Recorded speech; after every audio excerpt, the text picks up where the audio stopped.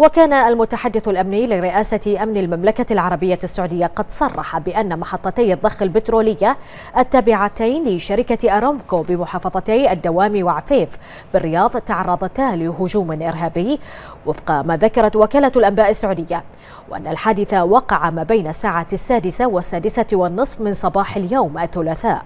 مضيفة أنه حدث استهداف محدود لمحطتي الضخ البترولية التابعتين لشركة أرامكو بمحافظة الدوام ومحافظة عفيف بمنطقة الرياض. وتابع المتحدث الأمني لرئاسة أمن الدولة أن الجهات المختصة باشرت مسؤولياتها بالموقعين.